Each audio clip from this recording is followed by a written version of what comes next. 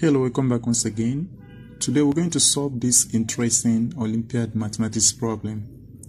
We're given that x raised to the power of x is equal to 49. In this video, we're going to solve for the value of x that will satisfy this equation. So let's get started. Let us find out if x is an integer by performing the following arithmetics.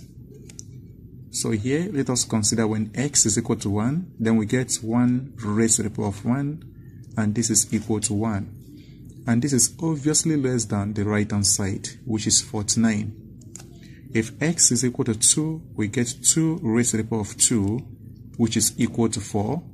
This is as well less than the right hand side, which is 49.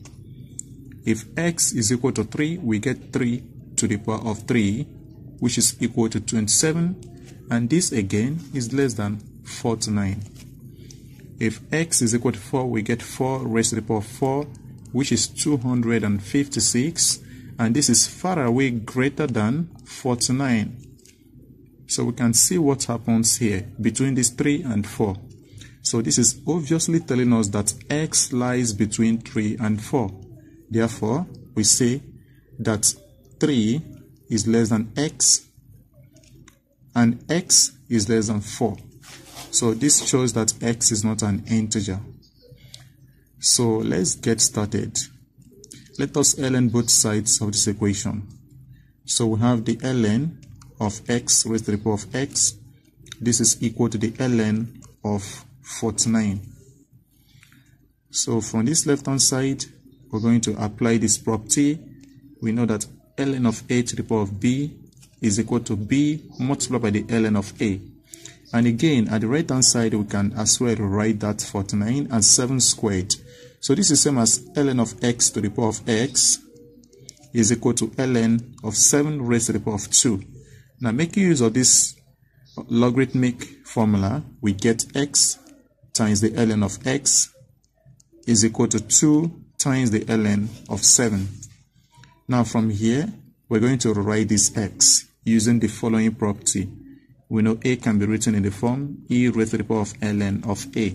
When a has the power of b, we can write this as e raised to the power of b multiplied by the ln of a. Therefore, the power of x is 1. So this will be same as here we have ln of x. Then multiply by e raised to the power of the ln of x. So this is equal to 2 ln of 7. From here, we're going to use the W function, which is called the Lambert W function, which is also known as the product logarithm. So if you take the W function on both sides of this equation, then at the left-hand side, we use this nice property of this W function, which is that the W of A times E raised to the power of A is equal to A.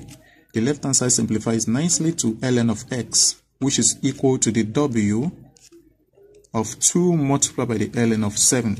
Here we take the common base of e on both sides and here the ln and the e get cancelled leaving us with only x which is equal to e raised to the power of the w of 2 ln of 7 and this right over here is approximately equal to 3.278 031 5236 and this right over here is our correct answer. Thank you for watching. If you